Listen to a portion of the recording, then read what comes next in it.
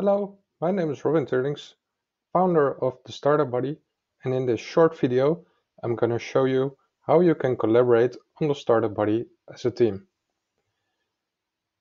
I assume that you have already registered an account and that you're already working on Startup Buddy. If you do that, your dashboard should look something like this. Now, go to the menu on the left hand side and click collaborate with your team.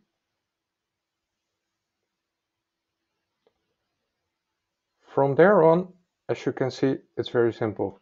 Input a name, in this case I will put test, put in an email address, test.test.com, and hit send invite.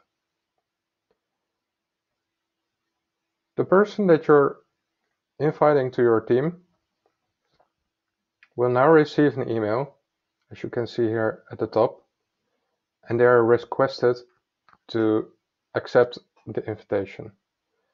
If they cannot find the invitation in their mailbox because it might have gone to the spam or something, they can go to exactly the same screen here also, like I'm showing you right now, and they will be able to see that they have an invite here and accept it.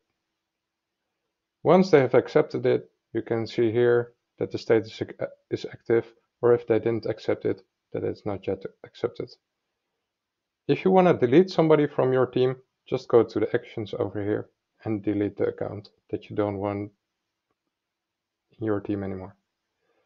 Once you have added somebody to your team, they will have access to everything that you have access to as well. That means that if you have a membership, for example, on the Startup Buddy, and you're able to connect to investors over here, uh, that they are able to work on that too, that you're sharing your toolkits like the proposition generator, business model, etc. This way, you can iteratively work with your entire team. Enjoy!